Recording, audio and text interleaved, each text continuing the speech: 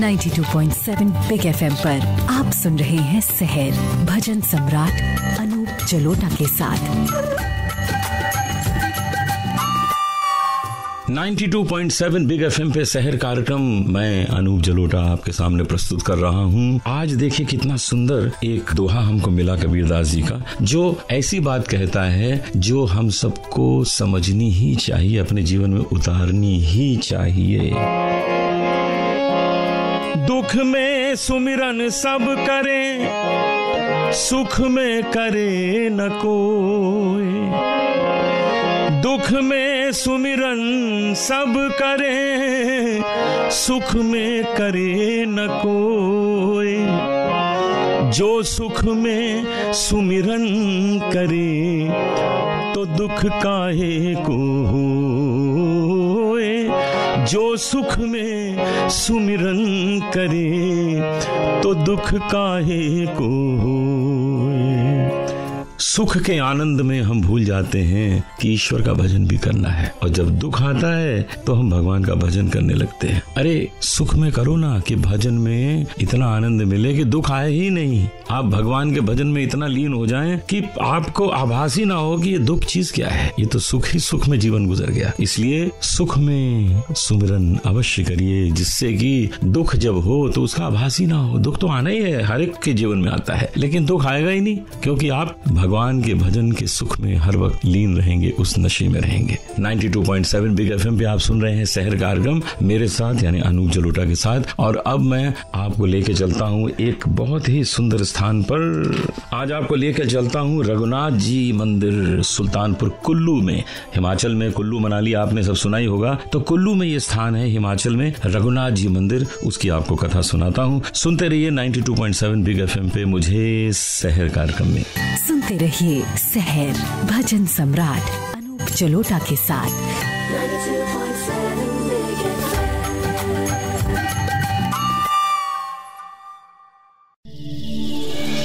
92.7 big FM पर आप सुन रहे हैं शहर भजन सम्राट अनूप जलोटा के साथ।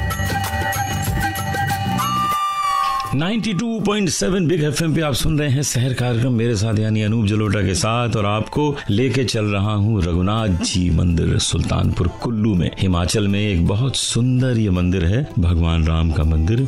बहुत प्रसिद्ध मंदिर है। दशहरे में तो क्या धूमधाम से यहाँ पर चहल पहल होती है, लोग आनंद लेते हैं। और ये मंदिर जो है, इसको कभी देखिए तो ऐसा लगता है, कभी मंदिर लगता है, कहीं पिरामिड जैसा लगता है। वो मिश्रण है कुछ उसके आर्किटेक्चर में। आरती वहाँ दिन में पाँच बार की जाती है। राजा जगत सिंह कुल्लू के शासक थे। वहाँ एक व्यापारी, दुर्गा दत्ता, ऐसी कोई खबर फैल गई कि उस दुर्गा दत्ता के पास बहुत से मोती हैं जो अनमोल मोती हैं। राजा जगत सिंह को भी ये बात पता लगी और उसने दुर्गा दत्ता से कहा कि तुम मुझे वो मोती दे दो, मैं अपने पास रखूँगा। सुना है तुम्हारे पास बहुत ही कीमती मोती है। सच तो ये था कि दुर्गा दत्ता के पास ज्ञान के मोती थे और कोई मोती नहीं थे, लेकिन राजा नहीं माना। और राजा ने कहा कि मैं तुम्हें फांसी दे दूँगा अगर तुम मुझे वो मोती नहीं दोगे।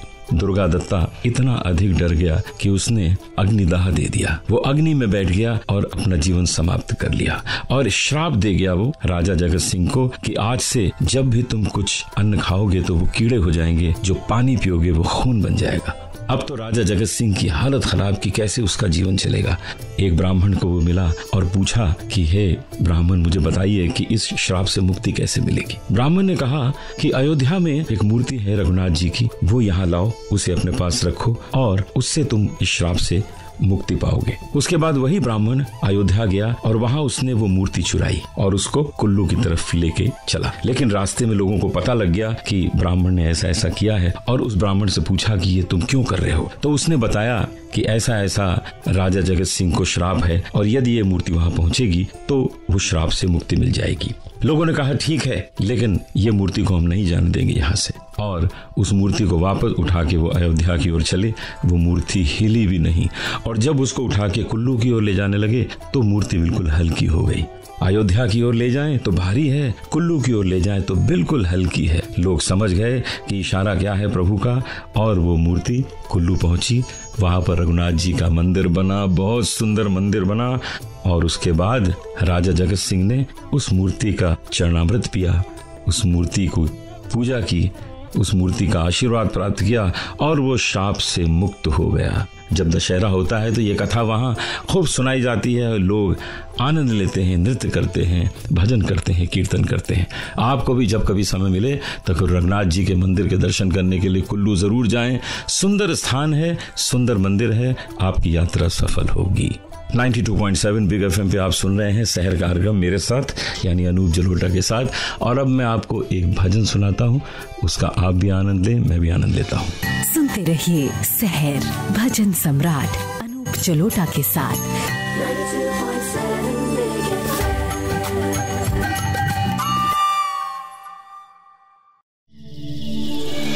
92.7 बिग एफएम पर आप सुन रहे हैं शहर, भजन सम्राट जलोटा के साथ। दुर्योधन के मेवा त्याग्यो। दुर्योधन के मेवा त्याग्यो, साग विदुर घर खाई। सबसे ऊँची प्रेम सगाई, सबसे ऊँची प्रेम सगाई। झूठे फल शबरी के खाए, बहुविध प्रेम जताई। प्रेम के वश नृप सेवा की आप बने हरिनाई।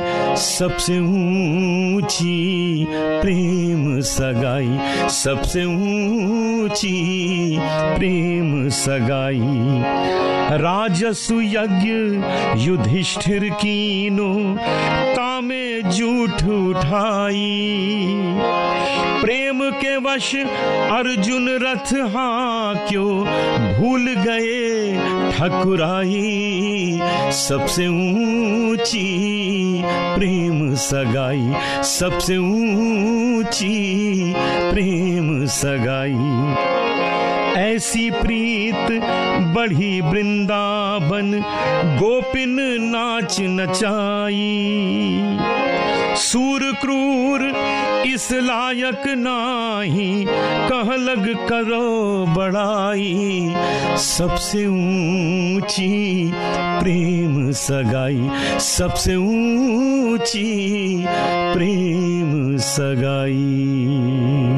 प्रेम के वश में प्रभु क्या क्या करते हैं? अपनी सारी विशेषताओं को भूल जाते हैं, अपनी शक्ति को भूल जाते हैं, बस भक्ति के वश में आ जाते हैं। 92.7 बिग एफएम पे आप सुन रहे हैं शहर कार्यक्रम मेरे साथ, यानी अनूप जलोटा के साथ। आज आपको मिलाता हूँ एक बहुत अच्छे गायक, श्री ओम व्यास जी से। ओम व्यास जी बहुत अच्छा गाते हैं, बहुत अच्छा संगीत बनाते हैं, लिखते भी बहुत अच्छा हैं, और ख़ास तौर पे राजस्थानी समाज में इनका बहुत बड़ा नाम है।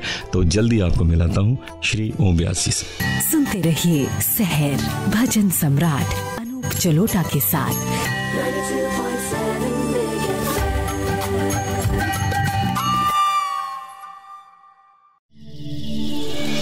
92.7 बिग एफएम पर आप सुन रहे हैं शहर भजन सम्राट, अनूप जलोटा के साथ।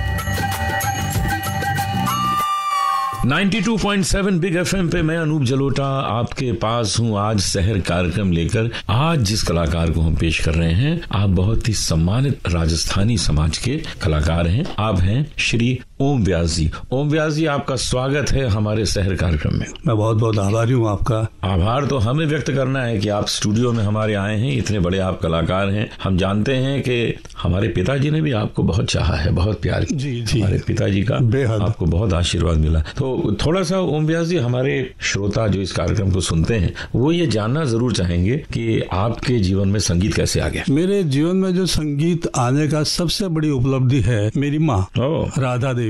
वो अक्सर सुबह मॉर्निंग में उठ करके जब चाकी पीसा करती थी उस जमाने में तो हमेशा मीराबाई के भजन गाया करती थी वाह वाह। कि माँ ने चाकर राखो जी गिरधारी माँ ने चाकर राखो जी। तो उस तरह फिर आप आगे चल के किसी से सीखना शुरू किया? आगे चल करके मेरी माँ ने विद्यालय में डाल दिया कि संगीत का बड़ा शौक अच्छा। था शौक था तो जोधपुर में विद्यालय था वहाँ पे संगीत में भी डाल दिया। तो पहला भजन भी मैंने कुंज बिहारी जी के मंदिर में गाया तो वहाँ एक बड़े स्वामी जी आए थे तो उन्होंने कहा बेटा गीत गीत सुनाओगे? तो माँ ने कहा कि तो गाएगा अच्छा? जी। तो मैंने उसी दिन पहला ही गीत वही गाया माने चाकर राखो गिरधारी तो उसकी मुझे बंदिश इतनी अच्छी लगती है कि मेरी माँ ने ही उसकी बंदिश बनाई थी और मैं उसी के रूप में गाता हूँ तो आज कैसा रहेगा कि वही भजन हम इन लाखों श्रोताओं को सुनाए बिल्कुल बिल्कुल सही हो जाए है। हो जाए आरंभ करें। मन चाकर राखो जी मन चाकर राखो जी। गिरधारी लाला चाकर राखो जी। मन चाकर राखो जी। चाकर रहस्यु बाग लगास्यु नित उठ दर्शन पास्यु। वृंदावन की कुंज गलिन